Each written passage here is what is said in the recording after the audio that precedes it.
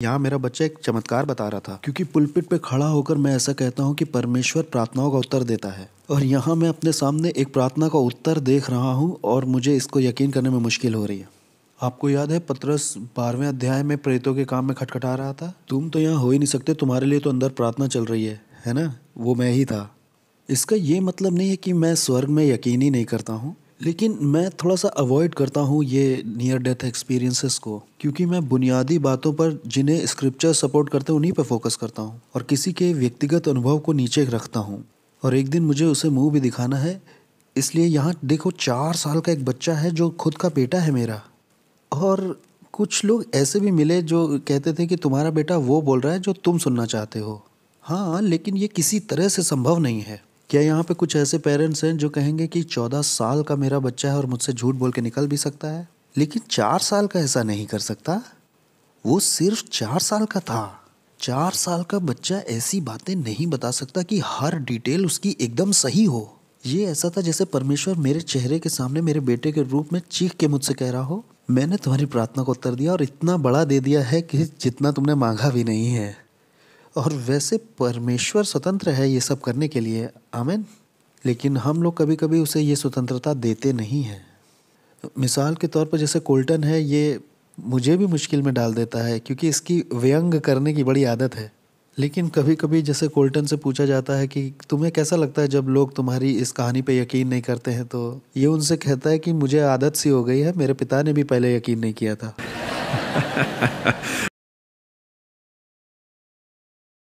Fathers day father's day पर हमको सबसे ज़्यादा दुख होता है, क्योंकि उस दिन के पहले वाली रात को ही मेरी पत्नी ने उस बच्चे को खोया।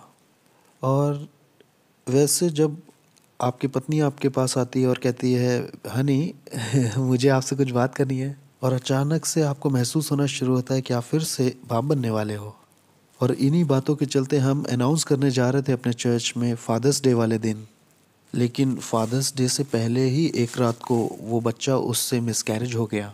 वो घर में फीटल पोजीशन पर लेटी हुई थी और बहुत दुखी भी थी कि क्या मैंने कुछ गलत खा लिया या मैंने कुछ गलत कर दिया, अपने आप को दोष दे रही थी वो उस फीटल पोजीशन में लेट के। इस कमरे में जो माए हैं, मैं उनसे कहना चाहता हूँ, आपने ऐसा कुछ नहीं किया है? उन बच्चों के साथ जो हुआ, उसमें आपकी कोई गलती नहीं है।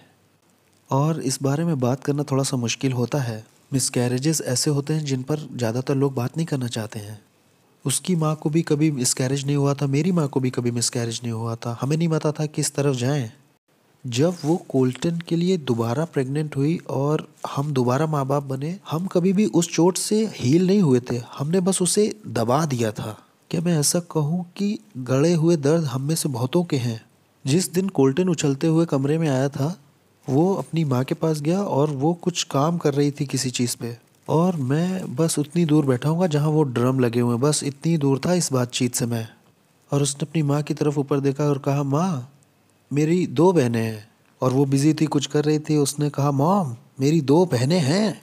कैसे एक्सप्लेन कर सकते हो आप तीन साल के एक बच्चे को जो बस चार का हुआ है कि तुम्हारी माँ के पेट में एक बच्चा मर गया था? क्या उसे डराना चाहते हो? इस तरह की बातचीत की ये उम्र नहीं है। क्या आप समझ रहे हैं मैं क्या कह रहा हूँ? आप ऐसा नहीं करते हैं। क्योंकि मेरी पत्नी के दिमाग में ऐसी कोई बात चली नहीं रही थी उस वक्त। पाँच साल से ज़्यादा समय हो चुका है उस मिसकैरेज को हुए और उसे तो बिल्कुल आइडिया नहीं था कि ये किस बारे में कह रहा है। तुम्हारा मतलब तुम्हारी कज़न या तुम्हारे दोस्त कौन? इसने कहा, नहीं, मम्मी, आपके पेट में एक बच्चा मर गया था, है कि नहीं?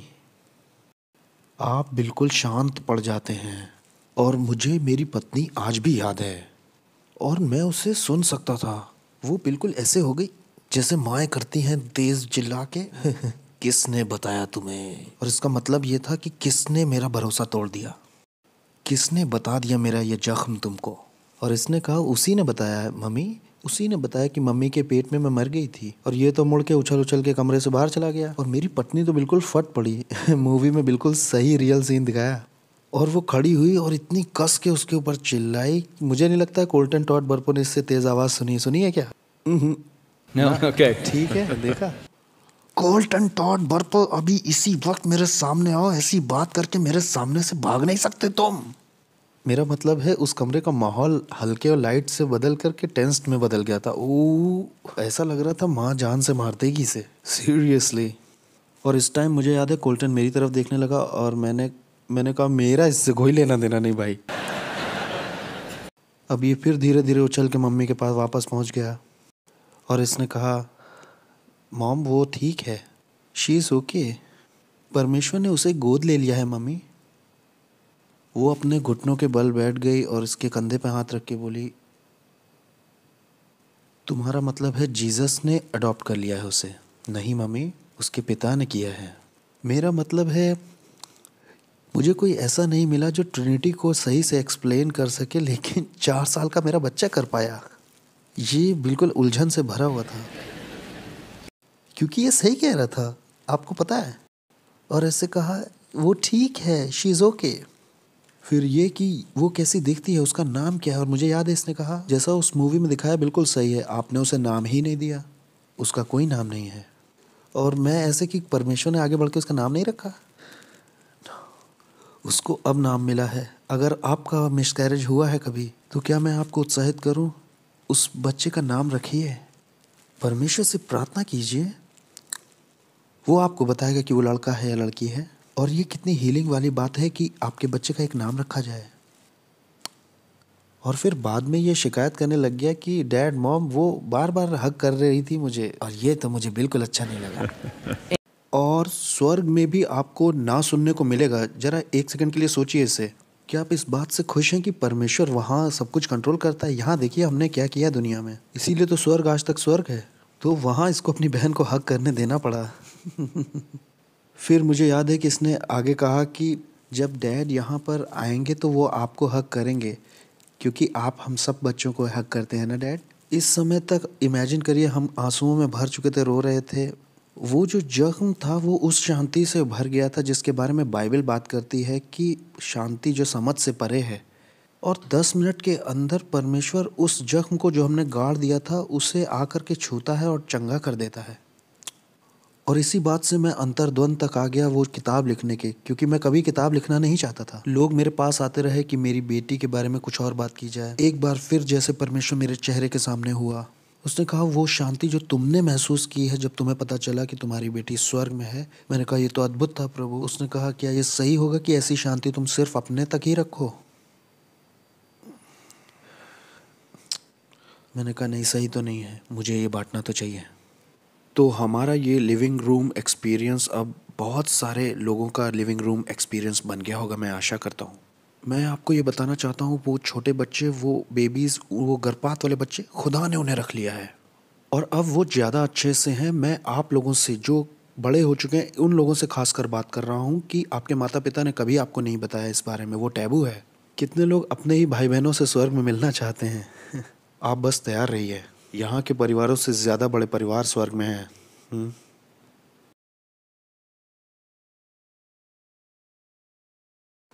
अच्छा स्वर्ग में वैसे बहुत से बच्चे हैं और बहुत से लोग मुझसे कहते हैं कि तुमने अपनी छोटी बहन को स्वर्ग में देखा हाँ? नहीं, वहाँ वो मेरी बड़ी बहन है। स्वर्ग में भी बच्चों की उम्र वहाँ बढ़ती है जैसे यहाँ बढ़ती है। ये ऐसा है कि सब लोग वहाँ बढ़ते ही नहीं रहते, हमेशा बीस या तीस के स्टॉपिंग पॉइंट पर रुक जाते हैं। और स्वर्ग में हर व्यक्ति जवान है। ज़्यादातर मैंने जब भी ये बताया है तो लोग ऐसे कहते हैं यस! तो इस तरह की बातें ही प्रचार में बोलनी चाहिए संडे को। Absolutely, absolutely. लेकिन स्वर्ग में ज़्यादातर बच्चे खेल रहे थे और बहुत मज़े ले रहे थे। वो खाना खा रहे थे। हाँ वहाँ खाना होता है। मुझे पिज़्ज़ा मैक एंड चीज़ मिला क्योंकि मुझे वही अच्छा लगता है। और एक चीज़ है जो स्वर्ग में जिससे बचा नहीं जा सकता या जिससे छुप नहीं सकते वो है स्कूल। मुझे स्वर्ग में भी स्कूल जाना पड़ा था लेकिन वहाँ ऊपर वाले में वहाँ यीशु टीचर हैं। वैसे तुम जब वहाँ थे तो तुम्हें किस तरह का होमवर्क दिया था?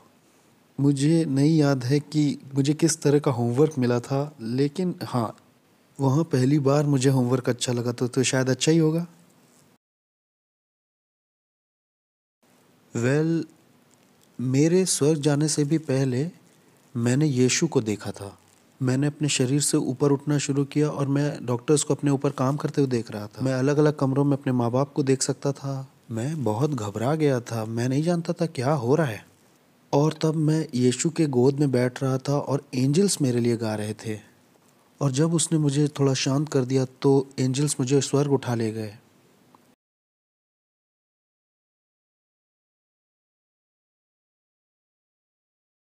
यीशु के भूरी दाढ़ी है, भूरे बाल हैं। उनकी बहुत ही खूबसूरत नीली हरी आँखें हैं और उनकी स्माइल इतनी चमकदार है कि मैंने कभी नहीं देखी। और स्वर्ग में वो क्या करते हैं? वो बस चलते फिरते हैं, लोगों से मिलते हैं, बात करते हैं, लोगों के साथ रहते हैं। एक ही शख्स जो स्वर्ग में चलते फिरते नहीं, वो है परमेश्वर, क्योंकि उन्हें सिंहासन पे बैठना होता है और दुनिया संभालनी होती है। वेल well, यीशु के साथ होने का ऐसा मतलब है जैसे उस एकमात्र दोस्त जिसके आप कभी ना गए हों और वहाँ आपको बहुत अच्छा लगा हो क्योंकि उसकी माँ ने आपके लिए कुकीज़ बनाए हैं और आप वहाँ वो सब कर सकते हो जो यहाँ अपने घर में नहीं कर सकते। और जब आपके माता पिता आपको लेने आते हैं तो आप हमेशा छुप जाते हैं क्योंकि आप वहाँ से कभी जाना नहीं चाहते। यीशु के पास होना बिल्कुल ऐसा ही है कि आप आना नहीं चाहते उसके पास से। थैंक यू गोल्टन ये सब बताने के लिए। अगर आपने किताब पढ़ी है या फ़िल्म देखी है तो आपको पता होगा कि इस एक्सपीरियंस के बाद टॉड और कोल्टन जहाँ कहीं भी जाते थे चर्च में फ्यूनरल पे या हॉस्पिटल में, कहीं भी, जहाँ भी कहीं यीशु की तस्वीर होती थी, टॉड पूछते, कोल्टन, ऐसे दिखते हैं क्या यीशु? और कोल्टन ऐसे कहता, नहीं, और ये ऐसे ही चलता रहा, जब तक कि ये इस वाली तस्वीर तक नहीं आ गई, ये जो अभी मैं स्क्रीन पर लगवा रहा हूँ। और ये इस तस्वीर पर आकर के रुक गए। और पहली बार उन्हें जो नॉर्मल रिस्पांस नहीं मिला वो, ज़रा आप बताइए कि क्या हुआ था उस मोमेंट पे? और ऐसा समझिए कि जैसे हमें कुछ नहीं मालूम, हमें पूरा बैकग्राउंड बताइए कि क्या हुआ था उस वक्त। आकियाना क्रमैरिक ने, जैसा आपने फ़िल्म में भी देखा होगा, वो लिथोवेनियन अमेरिकन है और उसके माता पिता नास्तिक थे। वो कभी चर्च नहीं गई अपनी ज़िंदगी में और उसका एक्सपीरियंस कोल्टन के एक्सपीरियंस से बिल्कुल अलग था। यीशु ने उसे विज़िट करना शुरू किया ड्रीम्स और विजन्स में, ठीक है? उसको कभी नियर डेथ एक्सपीरियंस नहीं हुआ, वो कभी मरी नहीं थी। उसने एक बात तो प्रमाणित कर दी कि परमेश्वर के पास बहुत तरीके हैं लोगों तक पहुँचने के। आमेन ये उनका तरीका है। मैं अभी भी मानता हूँ, आपको जानने की ज़रूरत है यीशु को। ये अच्छा है कि यीशु सिर्फ़ हमारे ही रिसोर्सेज पर निर्भर नहीं करते हैं कि लोगों तक कैसे पहुँचेंगे। और यहाँ यीशु एक छोटी लड़की से बात कर रहे हैं, जो कि बहुत ही अद्भुत चित्रकार है जिसने आठ साल की उम्र में ये पेंटिंग बनाई है। और हम पहली बार एक चर्च में बुलाए गए थे बोलने के लिए कोलोरेडो स्प्रिंग्स में। वहाँ पर एक लड़की थी जिसने आकियाना कैमेरिक के सीएनएन पर उसी साल एक डॉक्यूमेंट्री देखी थी। और उसने कहा कि ये तो बिल्कुल कोल्टन जैसी बातें कर रही है। स्वर्ग का जो विवरण है, वहाँ के जो रंग हैं, और वैसे ही और भी। फिर उसने मुझे फिर से कांटेक्ट किया और मैंने कोल्टन से कहा कि, कोल्टन, तुम्हें इस तस्वीर को देखना चाहिए। तुम मुझे बताओ, इसमें गलत क्या है? और ये बिल्कुल फ्रीज हो गया। कोल्टन, इस तस्वीर में क्या गलती है? और ये बिल्कुल लॉक्ड हो गया था। और कोल्टन आज भी बिल्कुल सधा हुआ व्यक्ति है। ये साढ़े सात नहीं कहता, ये कहता है सेवन ट्वेंटी सेवन पे उठा था मैं। और ये आज भी ऐसा ही है। अगर आपको कुछ सही सही आकलन करवाना है ना तो यही है, ठीक है? और इसने कहा कि ये सही है, ये एक लौती तस्वीर है। इसे जब मैंने अपनी किताब में लिया तो कई तरह के लोग जिन्होंने कहा कि हमने यीशु को देखा, मैं स्वर्ग गया हूँ, ऐसे नहीं दिखते हैं वो, ऐसा एक भी इंसान आज तक नहीं मिला। तेरह मिलियन कॉपीज़ बिक चुकी हैं इस किताब की, और हज़ारों लोग मिले जिन्होंने कहा ऐसे ही दिखते हैं वो, बिल्कुल। कुछ ही मेरी मेमोरीज़ हैं जिन्हें मैं कभी भूल नहीं पाऊँगा। और कुछ ऐसी भी हैं जिनमें, और फिर कुछ मेमोरीज़ ऐसी हैं जो यहाँ नीचे कभी पूरी नहीं होंगी। एक मेमोरी है जो नहीं लगता कि मैं कभी भूलूँगा। वो ये है कि जब मैं चारों ओर देख रहा था तो मैंने देखा कि सब लोग वहाँ जो हैं वो खुश हैं और सबके पास नए शरीर हैं। किसी के कोई दाग नहीं है, किसी के कोई निशान नहीं है। हर व्यक्ति बिल्कुल ठीक है। हाँ कोई प्लास्टर भी नहीं। यही तो दर्द है। यीशु ही एक इकलौता ऐसा इंसान है जिसके निशान थे और वो उसके हाथों में थे, उसके पैरों में थे और मैं एक तरह से बहुत झटका खाया था। तो आखिरकार मैंने यीशु से ही पूछ लिया कि, यीशु, ऐसा कैसे हो सकता है कि आपके निशान हैं और किसी के नहीं हैं? और इस पर उन्होंने मुझसे कहा, कोल्टन, इससे मुझे याद रहता है कि मैं तुमसे कितना प्यार करता हूँ। हम्म। टॉड कोल्टन ने जब आपसे ये सब बताया तो आप लोगों को कैसा महसूस हुआ? वेल well, जब मैंने उससे दोबारा पूछना शुरू किया कि तुम यीशु से मिले तुम बताओ कैसे दिखते हैं वो? यू you नो know, सबसे पहले जब इसने शेयर किया तो इसने कहा डैड यीशु के निशाना हैं। और मैं ऐसे था कि निशाना ये निशाना क्या होते हैं? अब ये तो चार साल का ही था इसकी शब्दावली लिमिटेड थी। और फिर मैं बालों के बारे में पूछने लगा और इसने पूरी कोशिश की ऐसी पेंटिंग जैसी बताने की। लेकिन वो मार्कर्स और फिर मुझे याद है कि मैं सोनिया को अंदर जा कर के बुलाने लगा और फिर मुझे एक आइडिया सा आया। मैं वापस आके बोला, मार्कर्स मतलब कलर्स? और इसने कहा कि हाँ रंगों की तरह ही। और मैंने कहा, किस रंग के? इसने कहा, लाल। और फिर मैं थोड़ा सा नीचे आकर के बोला अच्छा कोल्टन कहाँ है यीशु के निशाना? मुझे याद है हम बेसमेंट में सीढ़ियों के पास थे एक खिलौने पकड़े था छोड़ के बोला यहाँ है। अपनी हथेलियों पे दिखाया अपने टो पे खड़े होके पैरों के बीच में दिखाया और बोला डैड यहाँ है यीशु के मार्कर्स और इस बात से तो आपकी पूरी खोपड़ी घूम गई होगी। और ये एक ऐसा लम्हा था लोग पूछते कि आपने क्या कहा फिर? मैंने कहा कुछ नहीं। मेरी गर्दन के पीछे के बाल खड़े हो गए थे और मैं ऐसे था यहाँ एक और ऐसी बात है। मुझे वहाँ शेरों के साथ खेलने को मिला। यहाँ नीचे आप इस तरह का काम नहीं कर सकते बिना कोई दुख दर्द उठाए। सब तो मैं समझता हूँ कि ये सबसे ज़्यादा अद्भुत था। मुझसे कभी कभी ये सवाल भी पूछा जाता है कि क्या वहाँ कोई घर था? उस घर का रंग क्या था? मैं मैं एक छोटा बच्चा था। मैं इन बातों की क्यों परवाह करूँगा? लेकिन एक और जो सबसे अद्भुत बात मैंने देखी वो थी माइकल की जलती हुई तलवार। अब अगर माइकल के बारे में बात करूँ तो वो मेरे पापा से दो गुना लंबा था और जो उसकी जलती हुई तलवार थी, उसकी ब्लेड इतनी लंबी थी जितनी मेरे पापा और उसका जो हैंडल था, वो इनके हाथ के बराबर लंबा था और उसमें आग लगी हुई थी। मैं उसे देख कर गया, मैंने कहा, मुझे भी एक मिल सकती है? हाँ मुझे वहाँ नो कहा गया। तीन साल का एक बच्चा जो अभी बस चार का हुआ हो, वो ऐसी कोई चीज़ देखेगा तो वो ऐसे ही रिएक्ट करेगा, जिसके बारे में ये बता रहा है। अपने लौटने पर शेर देखा था, शेर के अलावा कोई जानवर देखा? हाँ मैंने कुत्ते देखे, बिल्लियाँ, हाथियों को देखा, चीते देखे, ज़्यादातर जानवर जो यहाँ देखते हैं, सारे ही देखे थे लगभग। वो वहाँ ऊपर स्वर्ग में भी हैं। ओके, और रंगों को भी देखा, जो रंग यहाँ देखते हैं आप सारे? स्वर्ग में जितने रंग हैं, वो यहाँ के जितने रंग हैं, वो तो वहाँ हैं ही। लेकिन वहाँ पर और भी बहुत सारे हैं, जो यहाँ होते ही नहीं हैं। उनके नाम भी मैं नहीं बता सकता, क्योंकि यहाँ पे वो है ही नहीं। हाँ हाँ। तुमने कहा था कि पिता को तुमने सिंहासन पे देखा। क्या इस बात में कुछ और बताना चाहोगे इसी बात में? अच्छा पिता वो बहुत बड़े हैं। मेरा मतलब है कि वो इतने बड़े हैं कि अपने हाथों में वो पूरे संसार को थामे हैं और लोग मुझसे पूछते हैं कि परमेश्वर कैसे दिखते हैं। वेल well, ये बहुत मुश्किल है वहाँ से फीचर्स समझ पाना क्योंकि आपको ऊपर भी बहुत दूर तक देखना होता है। लेकिन परमेश्वर के साथ जो सबसे नज़दीक दिखाई देता है वो सरदूत जिब्राइल। उसके गोल्डन बाल हैं और नीली आँखें हैं और गेब्रियल बहुत मुस्कुराता है। Okay okay. तुमने जिब्राइल को देखा माइकल को देखा और कोई स्वर्गदूत याद है जो देखा हो? वेल well, मुझे ये दोनों याद है जिनसे मेरी बात हुई थी। बाकी ऊपर स्वर्ग में मैंने युहन्ना बपतिस्मा दाता को देखा प्रेरित युहन्ना और पतरस को देखा राजा दाऊद को देखा शमशून और मरियम यीशु की माँ को भी देखा। आप जानते हैं, कोल्टन ने बहुत सारी चीज़ें देखी उन तीन मिनटों में जब वो चला गया था, और वो फ़िल्म में दिखाया भी गया है, ये बहुत ही पेचीदा बात है हमारे छोटे से दिमाग के लिए। कैसे परमेश्वर आउटसाइड टाइम काम करता है, हज़ार साल एक दिन के, एक दिन हज़ार साल के बराबर है, पतरस ने कहा। इसकी मेमोरीज़ बहुत सारे लोग जो नियर डेथ एक्सपीरियंस से गुजरे हैं उससे मिलती जुलती और डिटेल्ड हैं, और उसी समय में उसने जो कुछ भी देखा वो याद नहीं रख सकता है। और फिर भी मैं और मेरी पत्नी बैठे क्योंकि हम जानते हैं वहाँ हमारे परिवार के बहुत सारे लोग हैं नाना और बेटी के अलावा भी। लेकिन उसे यही दो याद रहे और हमने अपने आप से पूछा कि सिर्फ़ यही दोनों क्यों?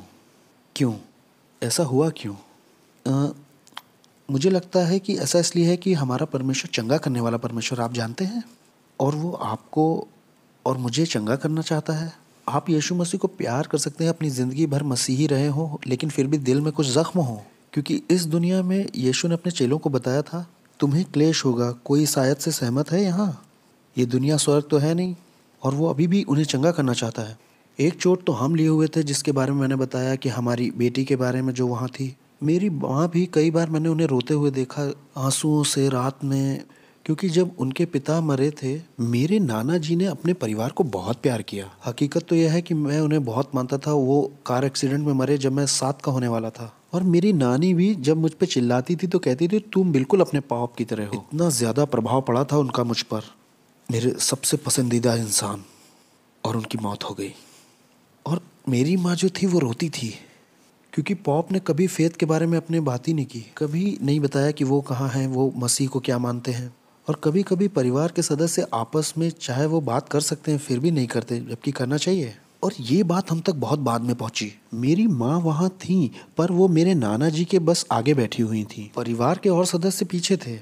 मेरे एक चाचा जी थे, वो असेंबली ऑफ़ गॉड के पुराने प्रचारक थे। और उनकी टेंथ रिवाइवल मीटिंग थी वो। और उन्होंने उस रिवाइवल मीटिंग में लोगों से पूछा कि क्या आप यीशु मसीह को अपना जीवन देंगे? ये मीटिंग हुई थी बस दो दिन पहले, जब मेरे नाना मारे गए। उन्होंने कमरे में पीछे बैठे हुए यूँ किया। वैसे तो मैं उनकी तरह ही दिखता हूँ लेकिन वो थोड़े से और बड़े थे है ना? और उनके घुंघराले बाल थे। हाँ। उन्होंने अपना हाथ उठाया और डिसीज़न लिया। अपने मरने से बस दो दिन पहले और मेरी माँ को ये बात कभी पता नहीं चली। परमेश्वर चाहते थे कि मेरी माँ ये जाने। और जिस तरह की चंगाई और शांति मेरी माँ के और हमारे जीवनों में आई, और सबसे अद्भुत बात एज अ पास्टर आप भी समझेंगे इस बात को।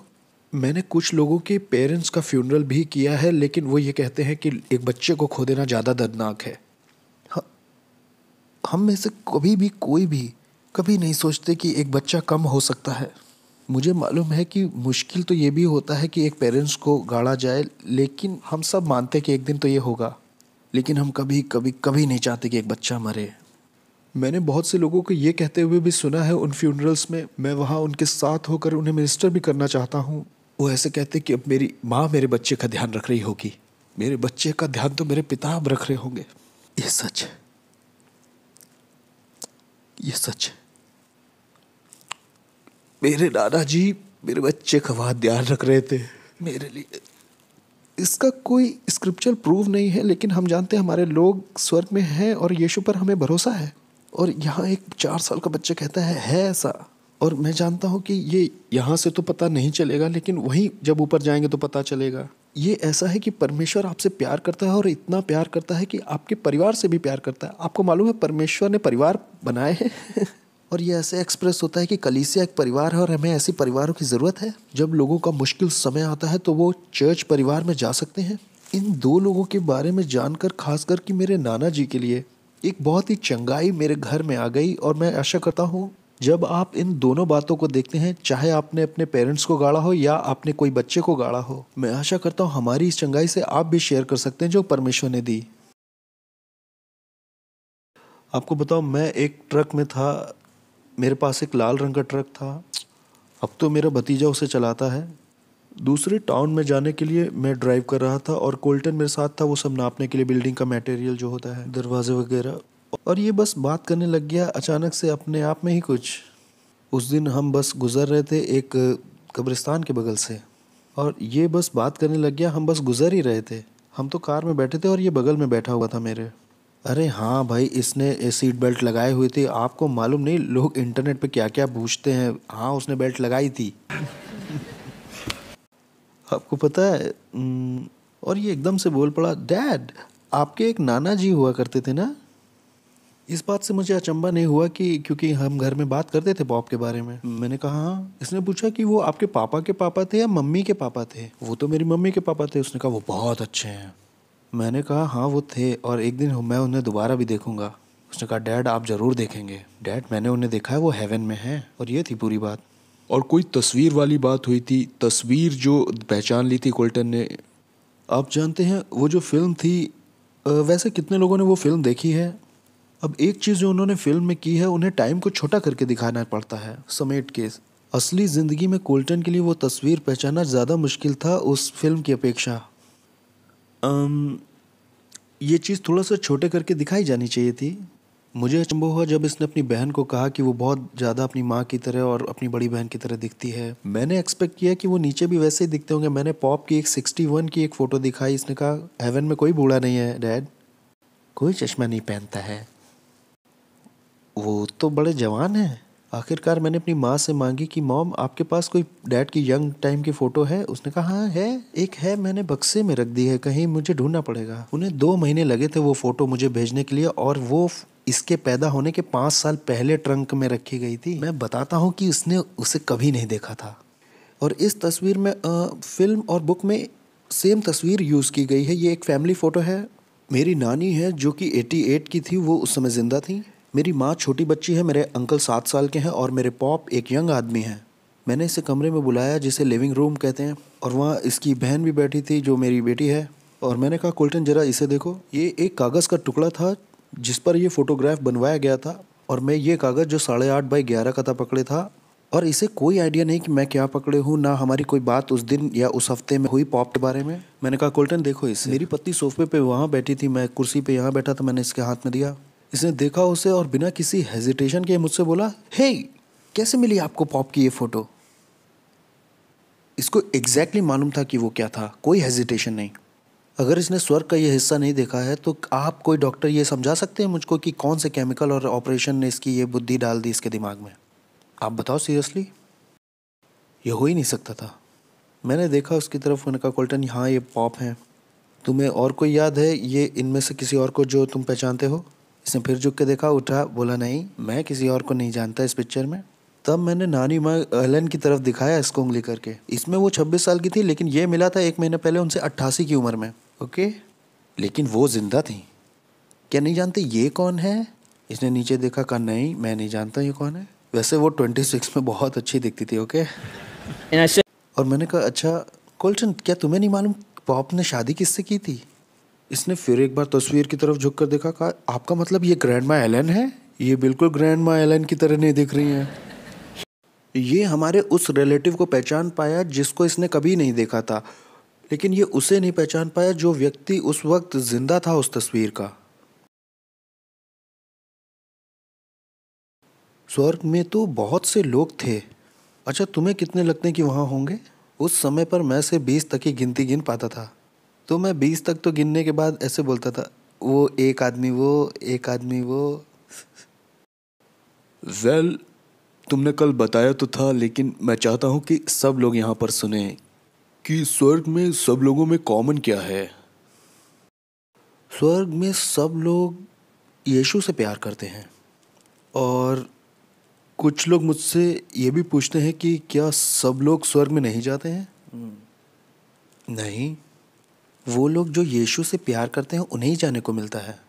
और मैंने जो यीशु से पूछा कि कैसे हम लोग स्वर्ग आ सकते हैं, उसने कहा, कोल्टन, अगर तुम मुझसे प्यार करते हो और मुझे फॉलो करते हो then my dad is okay with तुम स्वर्ग आ सकते हो।